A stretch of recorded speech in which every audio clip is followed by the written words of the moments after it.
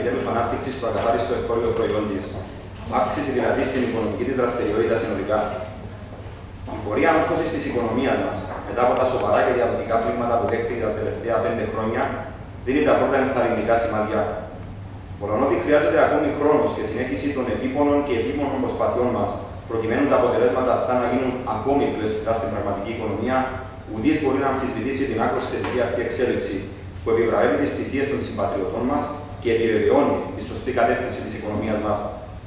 Η οικονομική ανάκαμψη επαληθεύεται εξάλλου και στον πολύ ευαίσθητο τομέα της ανεργίας, όπου καταγράφεται η μείωση του συνολικού αριθμού ανέργων στο 14,4% για το δεύτερο τρίμηνο του 2015, σημειώνοντας έτσι πτώση 3,3% από το 17,7% του προηγούμενου τριμήνου και 1% από το αντίστοιχο τρίμηνο του προηγούμενου έτους.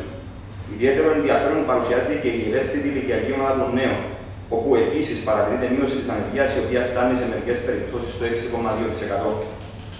Επιστέγασμα της ανωτική τάση για την οικονομία μας αποτελεί και η απόφαση του Διεθνούς Οίκου Αξιολόγησης Standard Poor's να αναβαθμίσει την κυπριακή οικονομία ως συνέχεια βέβαια των ευρύτερων θετικών αξιολογήσεων που λαμβάνουμε στο πλαίσιο της επισκόπησης του Κυπριακού προγράμματος.